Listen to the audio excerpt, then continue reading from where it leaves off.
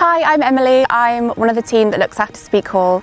This Tudor mansion is located on the outskirts of Liverpool and is looked after by the National Trust. Today I'm going to take you around and show you some of the highlights of this special place.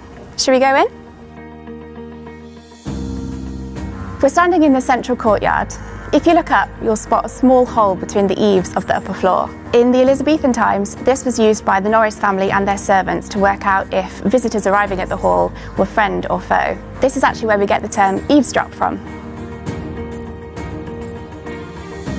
This might be a Tudor house, but it's filled with Victorian personality. In the 19th century, the Leyland family who were living here used designs by an up-and-coming designer, who you might have heard of, called William Morris. We're lucky enough to still have some of his original wallpapers surviving in the library, the estate office and the downstairs corridors.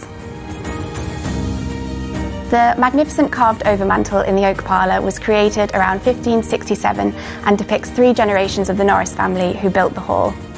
In the 19th century, Speke Hall actually fell into ruin and the oak parlour was used as a cowshed by local farmers, so it's amazing that it survived. In the corner of the green bedroom is the entrance to the priest hole. This leads up to a hidden roof space that was built by the Catholic Norris family to allow local priests to escape persecution. Centuries later, the priest hole still survives. Sadly, it's too fragile for visitors to enter, but the hidden entrance certainly fires up your imagination.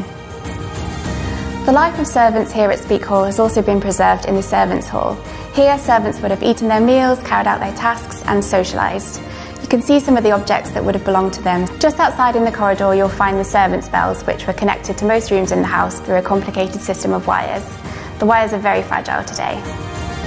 Speke Hall is home to 26 showrooms and over 6,000 collection objects. By visiting, becoming a National Trust member or simply treating yourself in our restaurant, you're providing us with the essential support we need to keep on caring for them. Thanks for joining us today. Please go to the Speke Hall website to plan your visit and check house opening times.